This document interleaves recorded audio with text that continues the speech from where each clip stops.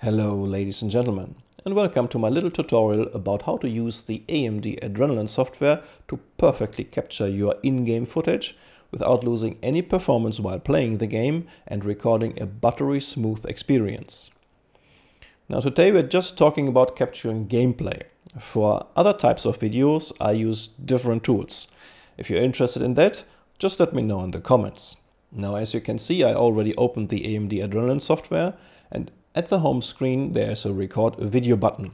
But before we hit this, we want to adjust a few things. And while this is a great tool for recording your in-game footage, it has a few shortcomings.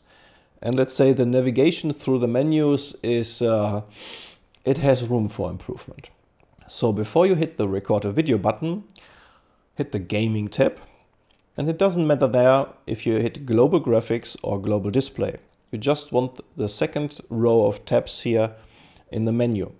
And you go to general and here you will find 95% of the settings you need to adjust your video recording. So first thing on top is media save location, where you can just choose a folder where you want to save your footage. Make sure you have enough hard drive space available. Now the next three options are not really important um, for recording an in-game session. And the next thing here is audio capture device. Now if you want to comment on your gameplay footage while playing the game, you have to choose the right microphone here, whatever you have plugged into your PC. Now if you want to record yourself while playing the game, under video capture device, choose the right camera that you have plugged into your PC. From here we are heading down to the recording options. On top you will find record desktop. This must be enabled because this is really how your gameplay is recorded when you tap into the game. Show indicator is disabled and borderless region capture is enabled. So the next settings here are resolution and frames per second. I usually record the resolution in game, but you can also choose a lower resolution if you want or need to. Same thing goes for frames per second. I usually capture my in-game footage with 60 frames per second, but if you want to choose 30 frames per second, absolutely no problem here. Now video encoding type. There are two standards here. The older AVC and the more modern or more recent HEVC. I choose HEVC because there's really no quality difference, but there's a big difference in how big the files are that you are recording.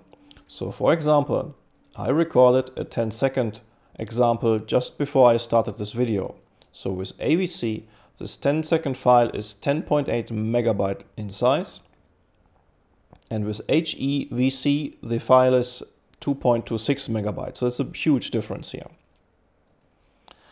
Video bitrate and audio bitrate.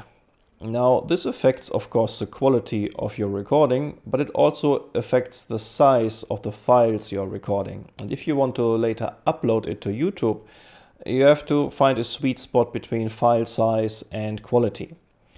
I would recommend playing around with this. I think it is perfectly cool not to max out everything, but I have enough space available and I have the time for the uploads and I have a pretty strong internet connection so it's no problem for me. But you can adjust this to a lower setting without losing too much quality here. Just play around with the settings, record a few test sessions, and then you can see where you find your middle ground. Here's something important. Separate microphone track. If you just want to record your in-game without commenting on it, you can leave this disabled.